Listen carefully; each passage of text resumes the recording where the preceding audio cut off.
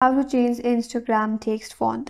Hi everyone, this is Kate and welcome back to another video and on this video we will learn how we can change Instagram text fonts without further delay, let's get started with this video. As Instagram itself does not offer a built-in font options for bios, captions or comments. So in order to change the Instagram text font, you have to change your device text font globally. Once you change your device text font, that will change the font style everywhere, including Instagram. So in order to do that, you have to head over to your settings in your device.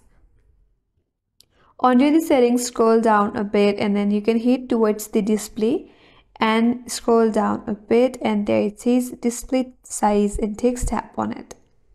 Scroll down a bit and there you have an option for the font size.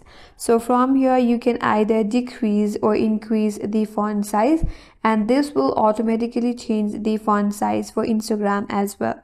And that's all for today's video. Hope this video was helpful and if you're new to our channel, consider subscribing. Thanks for watching and stay tuned for more videos.